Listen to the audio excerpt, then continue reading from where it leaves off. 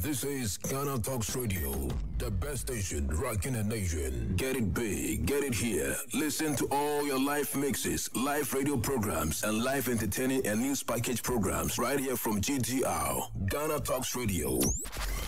GTR News. GTR News. We bring you local news, business news, international, sports, and entertainment news. Right here on GTR. GTR.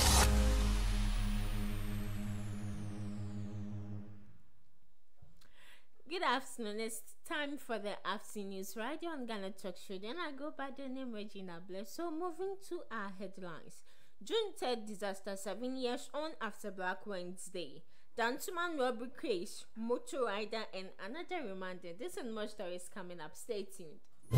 We bring you local news, business news, international, sports, and entertainment news. Right here on GTR. GTR. Welcome back from the break. So, moving to our top stories. Today, June 3rd, 2022, marks the seventh anniversary of Ghana's worst disaster, the June 3rd twin disaster, which occurred in Accra in 2015. In the middle of a heavy flooding and rainstorm midnight Wednesday, June 3, 2015, an explosion at Kwame Nkrumah Circle branch of the Goil filling station in the capital Accra killed at least 150 people and plunged the whole nation into an official three-day national mourning. The streets of the capital from the accident scene were littered with bodies while some were found in drains, taking authorities weeks to clear the remnant of the disaster. The morgues were congested with bodies and hospital authorities were overwhelmed with casualties from Ghana's worst ever disaster that happened on June 3rd. What many Ghanaians have coined the Black Wednesday years ago still has imprint of sadness and sorrow to date and is likely to leave an indelible scars on the minds of Ghanaians. Seven years on, there hasn't been any change in respect of the national effort to right the wrongs from the horror that hit the nation. Flooding continues to be a major catastrophe that Ghanaians may have to live with it perpetually. The country has already recorded several incidents of flood in many parts of the capital, Accra, including Kwame Nkrumah Circle, Kaneshie, Odorkor, Dansoman, Flamingo, Teshie, and Mataheko, among others. Moving to our next story, Dansoman robbery case, motor rider and another remanded. A motor rider who allegedly robbed the 58-year-old woman of a handbag containing two mobile phones and 60 Ghana cedis cash at Dansoman has been remanded into prison custody by an Accra Circuit Court. Paul Adiko, 26, has been charged with robbery. Yao Danso Ebaba, who allegedly bought one of the victim's mobile phones at the cost of 400 cedis, has been charged with this amnesty receiving. Adiko and Danso have pleaded not guilty to the charges. They are expected to reappear before the court presided over by Mr. Yimano Esando in two weeks' time. Narrating the fact of the case, Assistant Superintendent of Police ASP Maxo Opon said Benisna Ajelokwe, a 58-year-old trader, was the complainant in the matter. Madam Kwe resides at Kaneshie. ASP Opon said Adiko and Dancho resided at Chokon in Accra. The prosecutor said on May 22 this year the complainant attended church service at International Christian Liberty Center in Dansoman exhibition. Prosecution said after the church service, she decided to visit her parents who lived a few meters away. While walking to the house at about 3.40 p.m., Adiko, who was riding a Royal 125 motorbike, bypassed the complainant went some distance ahead and turned directly towards the direction of the complainant. Prosecution said the billion rounder jumped down from the motorbike, attacked and snatched the complainant's handbag containing Samsung Galaxy A23 mobile phone valued 1700 and a Nokia 101 mobile phone also valued 1500, two notebooks, a pen and some cash. The prosecutor said Adiko waited for his accomplice and after snatching the complainant's bag, they sped off. Prosecution said Lack. Prosecution said Lack eluded them when a CCTV camera captured their nefarious act. According to prosecution, on the same day, Adiko sold the complainant Samsung A23 Galaxy mobile phone to Danso at Chorkor for 400 cedis. How can you sell almost a thousand cedis phone for 400 cedis? That's greediness. Ah, uh, then Ankasa said, one brain, yeah, it's it's it's kind of something you sell it at any price you want. So it said on May 23rd this year at about 4 o'clock p.m. Personnel of the National Police Intelligence Di- Directorate, supported by a team of police personnel from Dansoman Division, undertook a special operation. Yes, and the accused persons were arrested. So the prosecution said the complainant Samsung mobile phone was retrieved from Danso. It said efforts were being made by the police to arrest to arrest the third accomplice. GTR News. GTR News. So moving to our next story. Court grants bail to three suspects arrested in connection with wildlife flogging. This this story is really funny. So the Wa Circuit Court has granted bail to three suspects arrested in connection with the flogging of two lovebirds. The suspects were asked to reappear on June 30, 2022. They were granted bail they were granted bail in the same in the sum of 3005 different sureties and are to report to the police and are to report to the police anytime they are needed. The three are 70 year old driver Na Ishaka Mahama, 62 year old farmer Na Osman, and 32 year old mobile phone repairer Bushran Kidira. Prosecuting police detective Sergeant Martin prayed the court to keep the three accused persons in custody. Because the prime suspect, Na Adam, said Jupelpua had not been apprehended. According to him, releasing them on bail could interfere with police investigation since some of the suspects are at large. However, the presiding judge, Jonathan, did not grant the wish of the prosecutor. He argued that since the three suspects are not the persons who committed the act, there is no need in keeping them in custody, hence the bill. We're going on a quick commercial break. We'll be right back with the business news.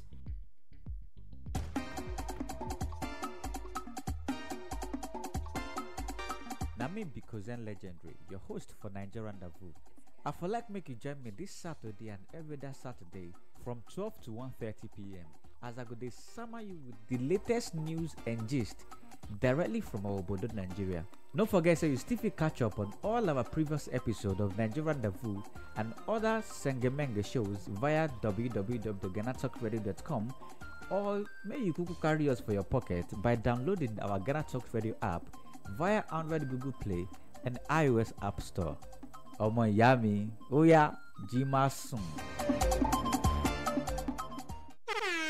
Hello Ghana, hello worldwide, na musi level bam. Now listen, every Tuesday and Friday, beyond the time it's going to carry bro. Our Ghana Talks Radio, 7 p.m. sharp. Now Tuesday, and we're gonna talk about our culture, our history. My 20 things set it about Kwasem. Now on the Friday, and you bars on bars on bars. You better rap, you better say. No artists go join me in the studio. We're gonna discuss about music and business. Konya, or oh, you singer, and now you rapper, you think say you get bars. You go fi spit fire. Now listen, make you join me with studios. Our Ghana Talks Radio, and yes, say I then I did. Me say download the Ghana Talks Radio app, no, our Play Store and the App Store. Na tune in, and say ah, this what I say, Baba Life on Facebook, Ko Intakra, any Ghana Talks Radio page, and so now ah, listen, I bet you fire, one year, one year, wadding, Jajan.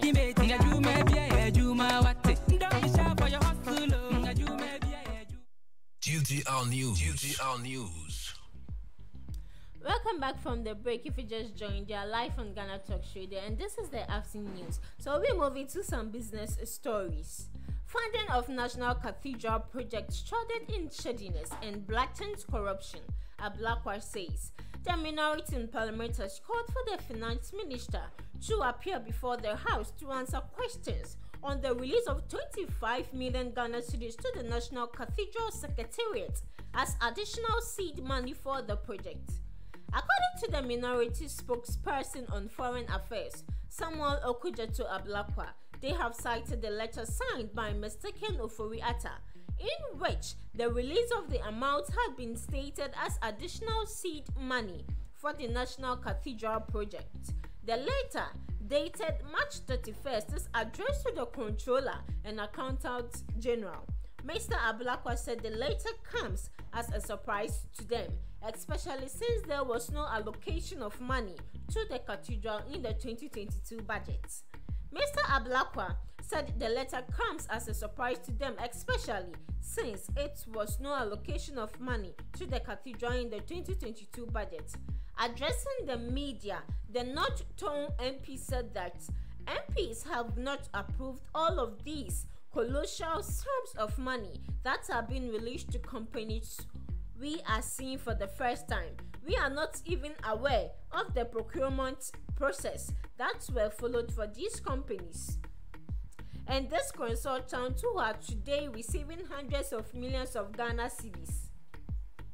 He stated that this letter exposes the government's lack of sincerity, duplicity, and the deception, especially since the president has said on numerous occasions made it clear the National Cathedral project was a personal pledge. So we are building a national cathedral which should be a symbol of holiness and everything pure, everything clean, and see how it is shrouded in such shadiness and clear blatant corruption, he added. So, moving to our next business story, Finance Ministry refutes allegations of recklessness by Imani. A Deputy Minister of Finance, John Kuma, has refuted the Imani Center for Policy and Education's claim that the Ministry of Finance had the highest level of fiscal recklessness between the years 2015 and 2020. According to the second Fiscal Recklessness Index 2020 report, which utilized the Auditor General's report to assess the fiscal recklessness of ministries, departments, and agencies, the finance ministry was responsible for about one for about 11 billion Ghana cedis in losses to the state due to its recklessness. But in a response, Dr. John Kuma described the report as a poor job. I read the Imani report and I think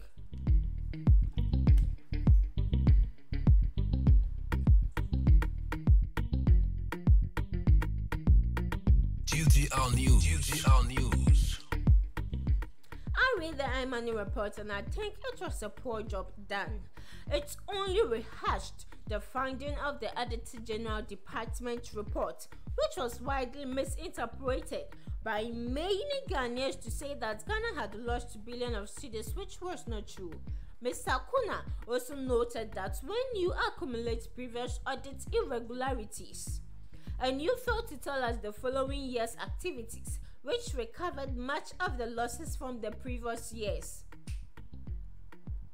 Then you will be double counting the irregularities. For example, in the year 2018, when they said the GRA did not collect about 5 million in taxes, in the following year, Ghana Revenue Authority came up with a report to show that 95% of the said amount has been collected with the rest 5% being matches of litigations.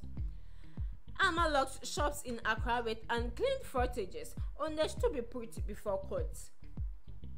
The Accra Metropolitan Assembly has locked up some shops in the Central Business District with unclean surroundings, frontages, and drain about their premise. The shops were locked on Tuesday following a directive by the mayor of the city of Accra, Honorable Elizabeth Kwatswate Riasaki, when she paid a working visit to Gamashi, Kantamanto, Makola, June 4th, and Agbogloshi Market. Public health officials of the AMA were also directed to issue summons to the shop owners to appear before the court for failing to keep their frontages clean, contrary to the Assembly's bylaws on sanitation. So, according to the AMA Sanitation Bylaws 2017, a person commits an offense if he or she fails to keep the drains that abuts the premises up to the middle of the streets clean, provide a standard container for refuse storage as prescribed by the Assembly, receives service from an unauthorized person or unregistered solid or liquid waste collector indiscriminately dumps solid and liquid waste in open spaces, drains, gutters, or bumps solid waste. Mayor Sackey expressed displeasure about the unclean footages of some shops in the market and admonished shop owners to endeavor to keep their surroundings and all of their drains clean to avoid prosecution. She reiterated that boiler in drain must stop now to ensure the free flow of water when it rains and to prevent communicable diseases in the city. So we're moving straight to some international stories. Biden urges ban on assault style weapons and gun age limit. Biden urges ban on assault style weapons and gun age limits June 3rd, 2022. President Joe Biden has said in the US should ban assault style weapons and high capacity magazines to tackle the carnage of gun violence. In the primetime speech to the nation from the White House, Mr. Biden said too many everyday places in America had become killing fields. He said if Congress could not outlaw such weapons, it should seek to raise the age to buy them from 18 to 21. Mr. Biden spoke after a string of mass shootings in the country. The US president also called for expanding federal background checks, and nationwide red flag laws which allow law enforcement to remove weapons from anyone deemed dangerous. But the prospect for Congress passing any gun control measures look uncertain and the US Supreme Court could instead be poised to expand Americans' gun rights in a landmark case that justice are considering.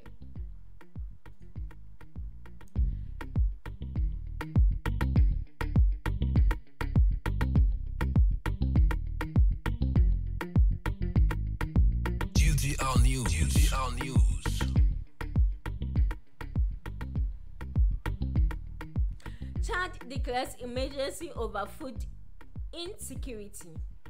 Chad's interim president Mahamat Idris Deby has signed a decree declaring a food and nutrition emergency. This decision follows the constant deterioration of the food and nutritional situation this year and taking into account the growing risk to populations if no humanitarian aid is provided. The plea for aid comes before a meeting between African Union Chairman Macky Sall and Vladimir Putin to discuss Russian grain supplies.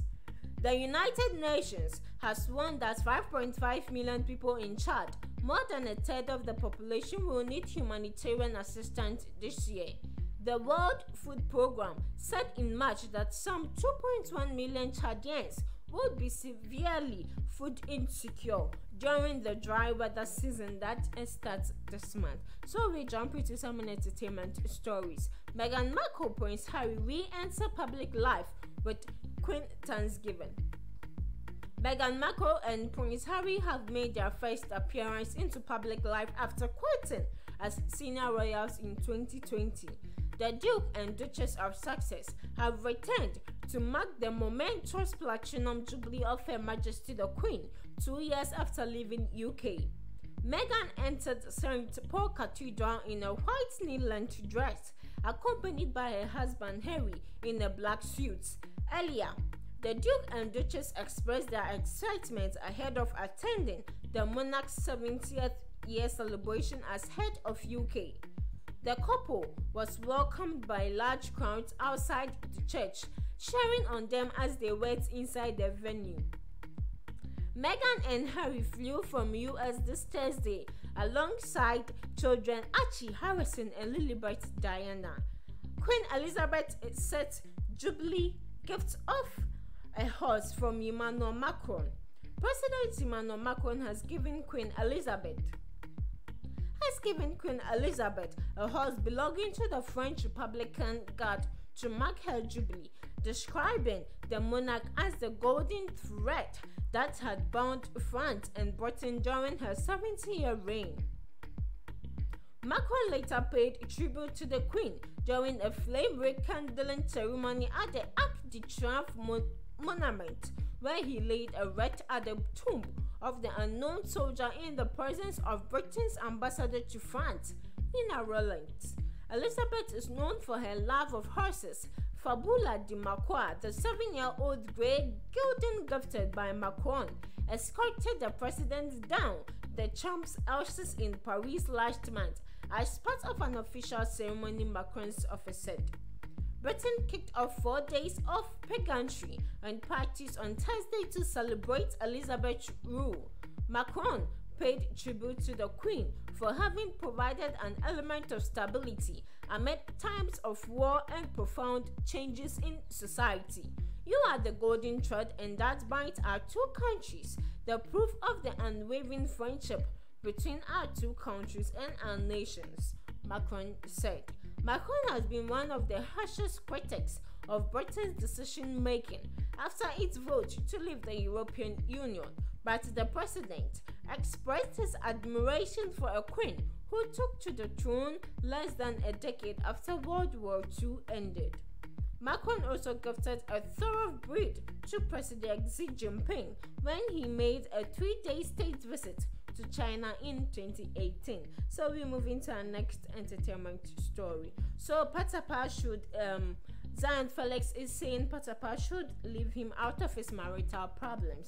Celebrity blogger Zion Felix has debunked claims by rapper Patapaa that he is causing problems between him and his wife Leah Miller. He emphasized that he only met Leah for an interview and she, he's saying he don't have anything to do with his wife. He doesn't know what is going on between him and the wife.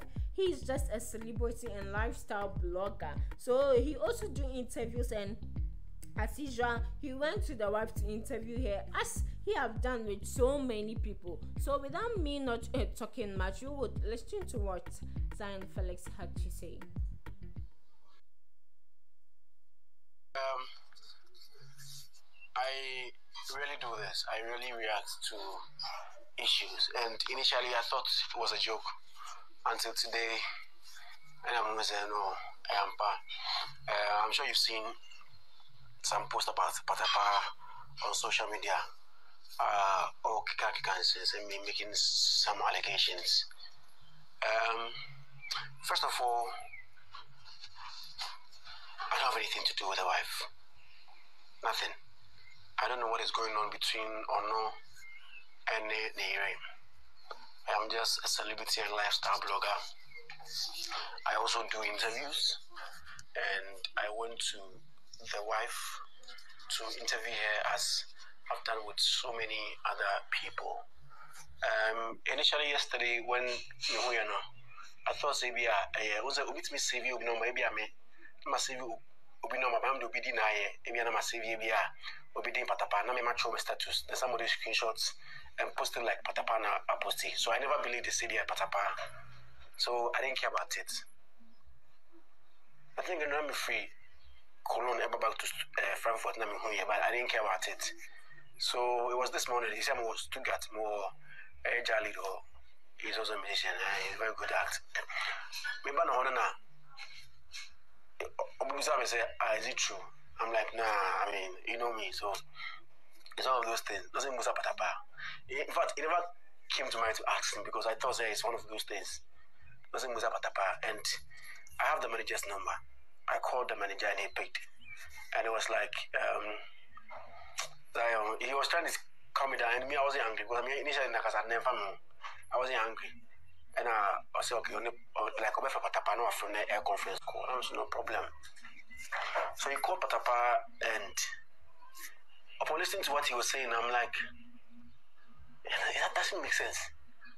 Say the the the, the whole issue is that kon me kon intervene man can channel.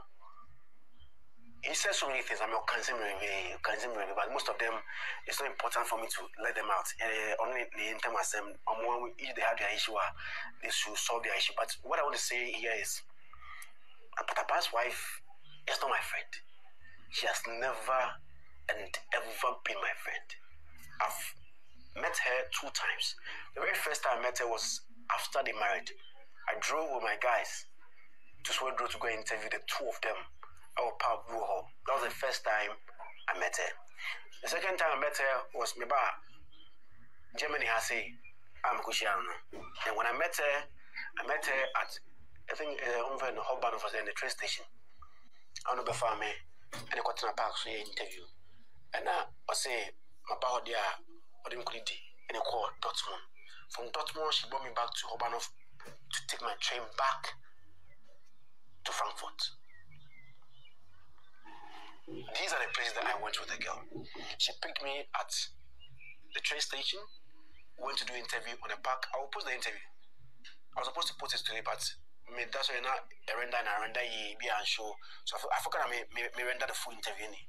Here's the full interview I may, may upload on YouTube. So we did the interview on the park and the lady talked really, really well. Like, Geno Nyanza, mean, be in Nyanza, but girl no Kasa, Kanyasa Sempa. GTR News. GTR She says uh, they have no issue, they are still married. And we take, oh, you watch the interview, you know, say, girl, no, girl, the girl talked like a wife. Girl, no Kasa pa. Kasa yi pa. When me ba Frankfurt, okay, me Germany, Monday. So Tuesday night, I go town, and uh, me na no, I'm a latest TikToker. So I'm TikTok, sana mo say, oh, opposite me, I say, oh, but if my wife can go, oh, come say, and so oh, much, I want for some oh, eh, The husband has come out to say some oh, eh. So it only be right. It, only be right, say, as a blogger, as a journalist, you also meet up with the wife and also, and also. Monkasa, not just even about the issue compound. We, we, oh yeah, Ghana new wife, ten wife. So let's let's vibe, you know. So definitely, I knew that if I go out, me interview, I'll ask about the issue. And already the husband has come out to say, Omunjaye. So I wasn't expecting the wife to also say otherwise. So the interview wasn't with any bad intent. So when- I saw her on TikTok, so the ladies in Germany, but me coming to and I'm going to DM me on Instagram. I didn't DM me on TikTok because me TikTok would DM me to take like thousand five years before I apply. But I know say with Instagram, if you DM people, they see it fast. So I went to DM on Instagram. I'm catching and say, oh, no, no Frankfurt, oh, no so Cologne, but me I don't know here. No, so it's not far. So I checked your app. I'm the book a train. So I checked the train and it was like two hours from Frankfurt. Even when, when I was booking the train, I didn't check the dates. I'm I'm going to see Friday, 3rd June. Let me try tickets now. So try ticket it was 926 from Frankfurt and I'll get to uh, Cologne 12 something, 12 20 something. Until the Wednesday I'm going to ticket. I'm going to ticket. I'm going to Friday ticket. I'm going to Wednesday ticket. So go train station when I'm catching someone change my number. So the, the ticket I bought, I'm going to change unless I buy a new one. So then, then, then I bought a new ticket, and the one I bought was an hour trip. The earlier one was 9:26 to 12 something, but the new one I and was 9:26 to 10:30, which was just an hour. Now the girl I don't have a number. We are making a mini number, and the, the the train time has changed. How do I communicate to her? If you watch, I've posted a video on Zion Felix Studio, and make, make on me make, make a video of myself talking about the fact that I bought a new ticket and I'm not getting the lady to, to tell her. And the train too is moving. Go do our environment. Go and watch that video on Zion Felix Studio. And um, I didn't even know that all this bullshit will come after this issue. Unfortunately, that's my but I'm going for so. So, make on it in the train. me- me- I, I did a video, so me call part of how I for now. My chat new ticket, but girl no, me need number. Everything is in that video. So I did me DM me on Instagram. Say my chat new tickets. Now this is the new time. It's an hour. To make on, I think I can be twenty minutes. I'm a drone. And I'll or or or or or DM me my my number and I'll friend me say if I'm a drum so me and draw. But I bought a new ticket also because man at ten twenty you know I was setting an alarm to ten o'clock nti afei na wasɔre afei na ɔbɛyɛ obi sisi na ɔbɛhyɛ mu ɛɛ ɔtumi I Yeah, so that was what Zion Felix had to say. He's saying he has nothing to do with Patapa's wife. So Patapa should stop forcing false rumors about him. So this is where we end the afternoon news right on Ghana Talk Radio. And I go by the name Regina Blaze. Stay tuned for the lunchtime reading right on Ghana Talk Radio.